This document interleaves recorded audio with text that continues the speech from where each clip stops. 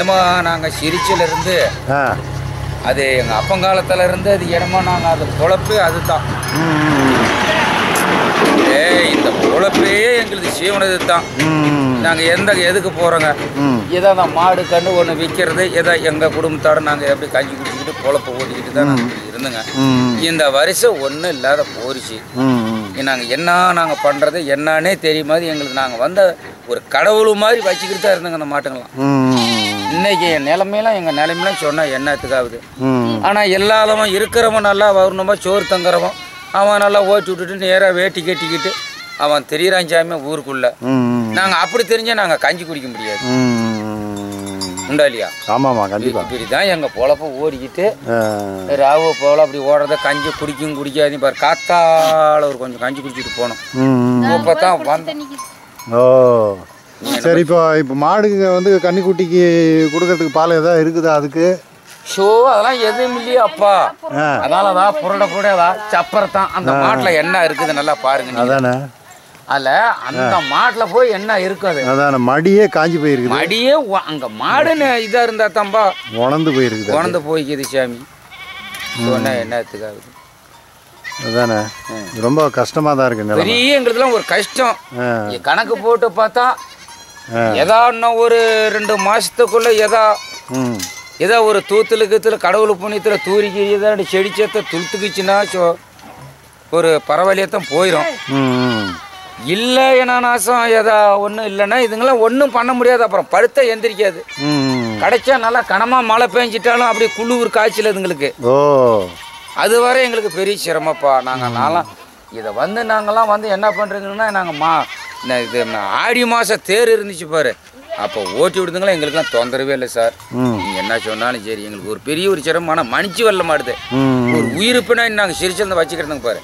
அதுக்கு அவசரம் தான் எதாதா அப்படியே அந்த கரும்போசல் எடுத்து பாருங்க. அப்படின்னா அந்த வரப்பு இந்த வரப்புல அந்த சருவும் திருவும் அரிக்கிறதுங்க அப்படியே சுருங்கி போச்சுங்க அவ்வளோதான் அதான் அந்த காஞ்ச சருகை தான் சாப்பிடுது. சாப்பிடுது. ஒன்றும் நிலம் நல்லாச்சு இல்லாத இருக்குதுங்கப்பா. என்னமோ நம்ம என்ன பண்ண சரி இப்போ காட்டில் வந்து என்னதான் சாப்பிட்றதுக்கு இருக்குது? நீங்கள் என்ன பண்ணுறீங்க கடா கடவுளை. ஆ. ஒன்றும் இல்லை இந்த பழுப்பு இறங்கி ஆ. இந்த சருவுங்க இந்த பழுப்பு இறங்கி இந்த அந்த சருவுங்க இருக்குது அந்த சருவு அரிக்கிறதான் ஓ சரி சரி சரி சரி. இந்த சருவு காஞ்ச சருகு காஞ்ச சருகு தான் காஞ்ச சருவு அதையே எதை அப்படியே ஓஹோ. அதையே பொறுக்கிட்டு தெரியறதா? எங்களோட செம்மி செம்மையெல்லாம் சொன்னால் நாங்கள் எப்பயுமே எங்கள் எங்கள் எங்கள் காலத்திலேயே நாங்கள் நாங்கள் பிறந்ததுலேருந்து நாங்கள் இந்த மாதிரி நாங்கள் ஒரு இதை நாங்கள் பார்க்கவே இல்லை. இந்த மாதிரி மழை பெய்ய வருஷம் தான் ரொம்ப மோசமாக இருக்கு. ரொம்ப மோசமாக போயிடுச்சு. என்ன பண்ணுறது சரி இப்போ உங்களுக்கு இந்த மாதிரி ஏதாவது இப்போதைக்கு மழை பெய்கிற வரைக்கும் அதை தீவன புல் மாதிரி ஏதாவது வளர்த்து கொடுத்தா. அது அதனால வந்து மாடு பொழைச்சிக்குமா? ஆ எள்ளு இருந்தால் மாடு. ஆ. எள்ளு இருந்தால் தின்னுச்சுன்னா தின்னுவிட்டு போய் அதுங்க ஏதோ பக்கமாக தண்ணி குடிச்சுவிட்டு ஒரு மரத்தடியில் படுத்துக்கிட்டு வந்தா கொஞ்சம் இன்னும் கொஞ்ச நாளைக்கு தாக்கு பிடிக்கும். பில்லு இல்லையாப்பா தான் ஒன்றும் இல்லை நான் பின்னு கண்டுதுன்னா நான்லாம் ஏதோ ஒன்று பா பண்ணியிருப்போம். மறுநாள் அதிகாலையில் நாங்கள் மீண்டும் இம்மாடுகளை பின்தொடர்ந்து அவைகள் உண்ணும் தாவரங்களை பற்றியும் அந்த இடச்சூழலை பற்றியும் உண்மை விவரம் அறிய இவைகள் மேயும் பகுதியான ஆலங்காட்டு வனப்பகுதிக்கு பயணமானோம் அங்கே இந்த வருடம் பருவமழை பொய்த்ததால் வனமே வறண்டு கிடந்தது. தரையில் இம்மாடுகள் மேய்வதற்காக ஒரு பச்சை புல் பூண்டு கூட இல்லை. பெருமரங்களும் வறட்சி தாங்காமல் அதன் பச்சை இலைகள் காய்ந்து சருகாய் நிலத்தில் உதிர அக்காய்ந்த இலைச் சருகுகளையும் சிறு குச்சிகளையும் உண்டு இம்மாடுகள் பசியாறின காட்டு ஓடைகள் வறண்டு கிடப்பதால் மாடுகள் தாகம் தணிக்க எஞ்சி இருந்த நீர் சுனையை தேடி நெடுந்தூரம் பயணிக்க வேண்டிய கட்டாயம். அந்தாண்ட மூணு மைலுக்கு அந்தாண்ட போய் மாடு மேய்ஞ்சி திருப்பி மறுபடி வந்து இங்கே வந்து தண்ணி குடிச்சு விட்டு திருப்பி மறுபடி திருப்பி மறுபடி திருப்பி அங்கே தாவுக்கு போகிறதா இருந்தால் பன்னெண்டு.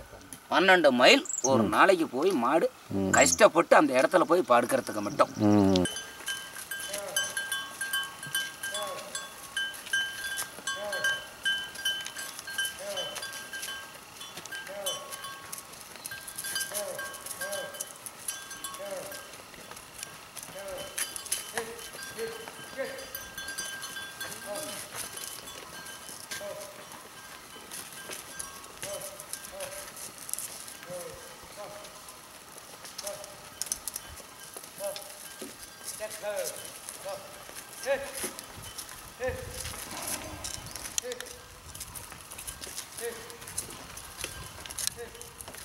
செவனேன்னு போதும் ஒன்றும் இல்லை.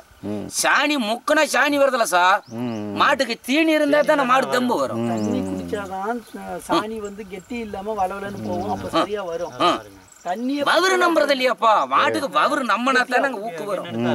ஒன்றும் இல்லை அதெல்லாம் சொன்னா பெரிய இதெல்லாம் இதெல்லாம் நல்லா பிடிச்சி கோயிலெல்லாம் போய் பார்த்தீங்களா சாமி? உங்கள் ஊரெல்லாம் ஒரு ஆச்சரியப்பட்டுக்கணும். ஆனால் நேற்று மட்டும் அதை நின்று பார்த்து இருந்தால் ஒரு முந்நூறு காடை போச்சுண்ணா.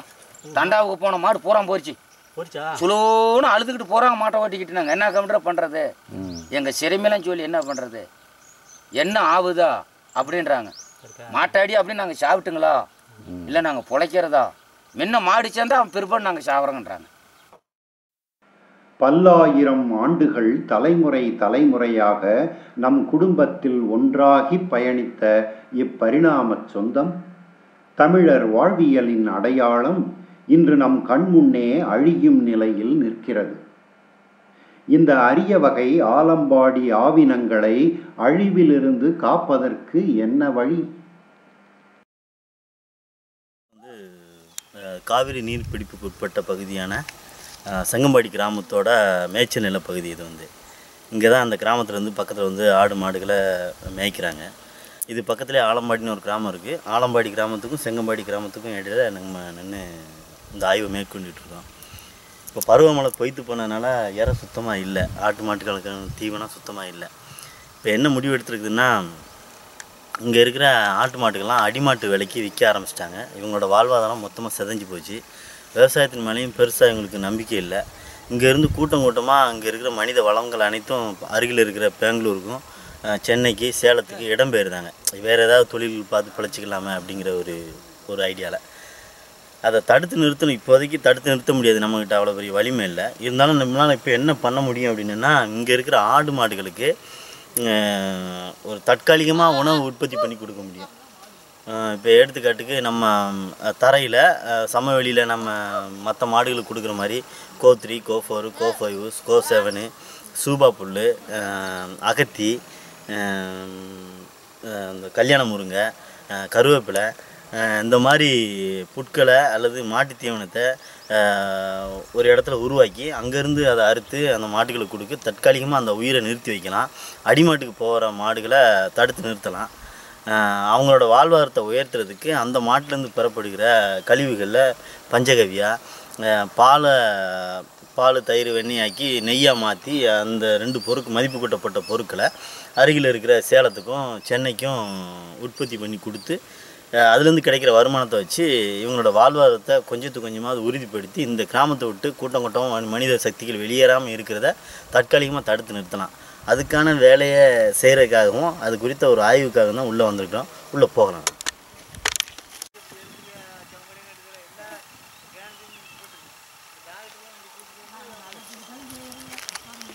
இதுதான் ஆசா மரம். இப்போது இப்போ பருவமழை பொய்த்து போய் இற இல்லாதனால இந்த மரத்தோட தலைகளை தான் ஆடு மாடுகளுக்கு தற்சமயம் இதை வெட்டி போட்டு ஆடு மாடுகளை காப்பாற்றிட்டு இருக்காங்க. இந்த இலை எப்படி இருக்குது அப்படின்னா எடுத்து நாம் சாப்பிட்டு பார்த்தோம்னா கிட்டத்தட்ட மா இலையோட ஃப்ளேவர் இதில் இருக்குது உப்பு புளிப்பு துவர்ப்பு மூணும் கலந்த ஒரு ருசி இருக்குது. அது சாப்பிட்றதுனால ஆடு மாடுகளுக்கு நல்ல ஸ்டெமினா பவர் இருக்குது. இப்போதைக்கு இதை வெட்டி போட்டு காப்பாற்றிட்டு இருக்காங்க. ஒரு மாட்டு குழுமத்துக்கு ஒரு நாளைக்கு பதினஞ்சு மரங்கிட்ட வெட்டி இலைகளை போட்டு காப்பாற்றிட்டு இருக்காங்க. நல்லா இருக்குது. இந்த மரம் வறட்சி தாங்கியும் வளருது. இந்த மரங்கள் உள்ளே நிறைய இருக்குது. நம்ம மீண்டும் பயணிக்கலாம்.